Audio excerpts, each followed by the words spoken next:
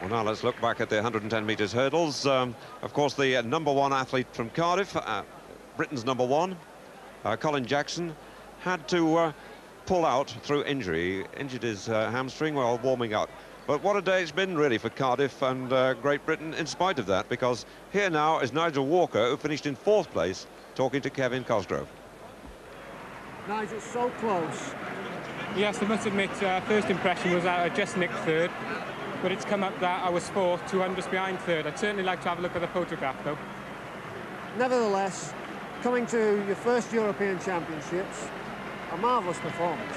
Mixed emotions. Obviously, a little bit of delight because I made the final and I wasn't ranked high enough to make the final.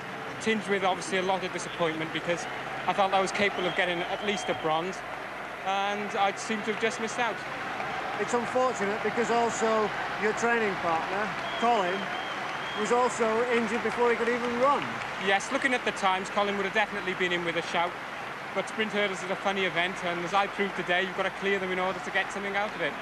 Do you think that that's what went wrong for you, that you hit too many hurdles? Yes, I definitely hit five or six, and in this calibre of competition, you can't afford to do that.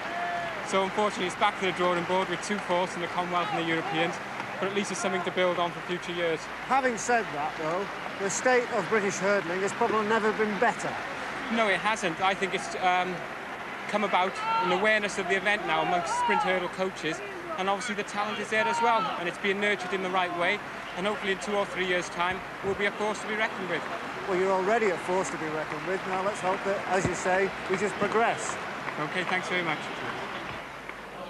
Personal best for Nigel Walker in 13.52. And Jon Ridgeon finishing in sixth place. 13.70.